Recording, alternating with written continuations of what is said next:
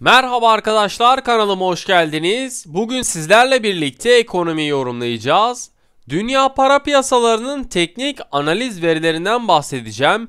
İlk olarak ons altında geçtiğimiz perşembe günü açıklanan Amerika Birleşik Devletleri rekor büyüme verisinin de etkisiyle dolardaki güvenli liman talebinin devam etmesi ons altının aşağı yönlü hareketlerini derinleştirmesine neden olurken haftanın son işlem gününde ise Amerika Birleşik Devletleri tahvil faizlerindeki gerileme değerli metaldeki yukarı yönlü hareketlenmeye destek olurken Amerika Birleşik Devletleri'nde seçimlerden önce ekonomik destek paketinin hayata geçirilmesine dair umutların son bulması ve artan vaka sayılarının neden olduğu endişelerin dolara destek olması ile ons altında da yukarı yönlü hareketlerin sınırlı kaldığını gördük.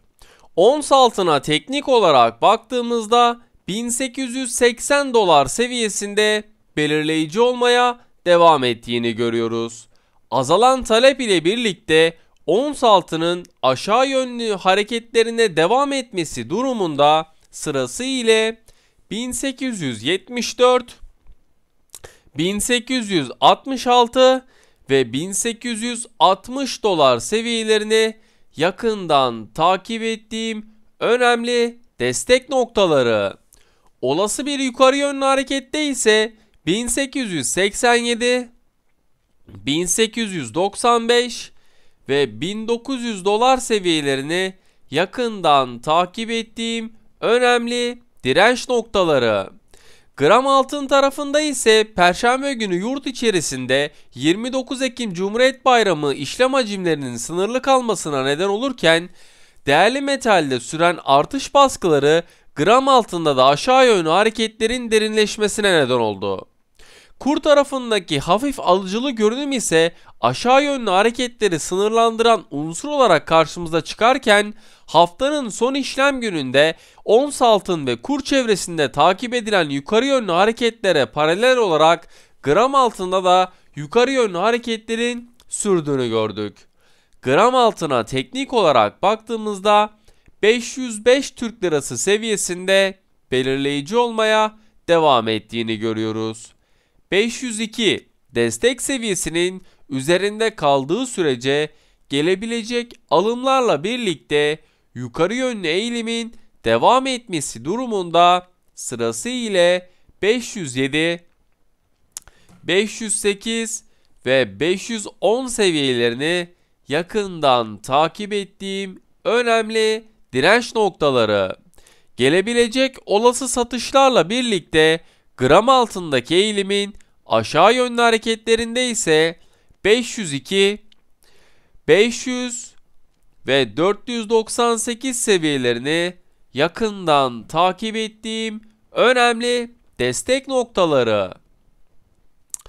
Pound dolar paritesinde ise geçtiğimiz haftanın son işlem gününde Birleşik Krallık'ta nispeten zayıf ve ekonomik akışı devam ederken Amerika Birleşik Devletleri tarafında kişisel gelirler Eylül ayında %0,4 artış beklentileri karşısında %0,9 artış gösterdi. Açıklanan Amerika Birleşik Devletleri Michigan Tüketici Güven Endeksi ise Ekim ayında beklentileri aşarak 80,4 seviyesinden 81,8 seviyesine yükseldi. Gün içerisinde Amerika Birleşik Devletleri'nde gerçekleşecek başkanlık seçimleri öncesinde yeni bir ekonomik destek paketinin hayata geçmesine dair umutların son bulması ve artan vaka sayılarının neden olduğu endişelerin dolara destek olması ile yukarı yönlü hareketleri sınırlandırırken gün sonunda Brexit'e dair belirsizliklere rağmen paritenin yükselişini sürdürdüğünü gördük. Pound dolar paritesine teknik olarak baktığımızda 1,29 seviyesinde belirleyici olmaya devam ettiğini görüyoruz. 1,2860 destek seviyesinin üzerinde kaldığı sürece gelebilecek alımlarla birlikte paritedeki yukarı yönlü eğilimin devam etmesi durumunda sırası ile 1,2950 1,30 ve 1,30-60 seviyelerini yakından takip ettiğim önemli direnç noktaları. Gelebilecek olası satışlarla birlikte paritedeki eğilimin aşağı yönlü hareketlerinde ise 1,2860 1,2820 ve 1,2750 seviyelerini yakından takip ettiğim önemli destek noktaları. Dolar yen tarafında ise geçtiğimiz haftanın son işlem gününde Japonya'da sanayi üretim verisi Eylül ayında beklentilerin üzerinde %4 artış gösterirken Amerika Birleşik Devletleri tarafında kişisel gelirler Eylül ayında %0,4 artış beklentileri karşısında %0,9 artış gösterdi.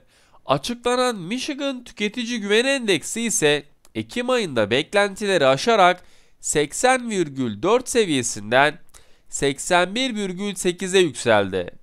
Gün içerisinde Amerika Birleşik Devletleri'ne gerçekleşecek olan başkanlık seçimleri öncesi yeni bir ekonomik destek paketinin hayata geçirilmesine dair umutların son bulması paritedeki yükselişi sınırlandırırken artan vaka sayılarının neden olduğu endişelerin yine destek olan talebi sürdürmesi sonucu yukarı yönlü hareketlerin sürmesine neden oldu.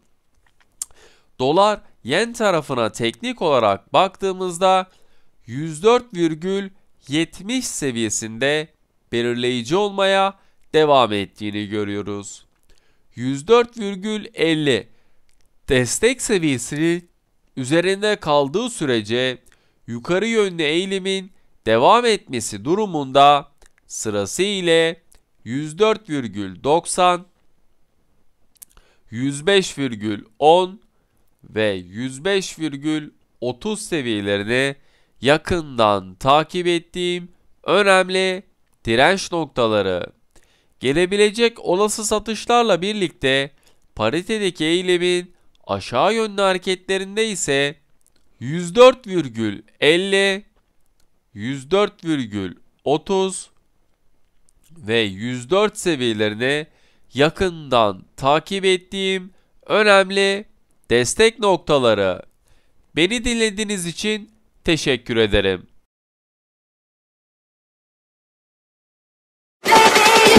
take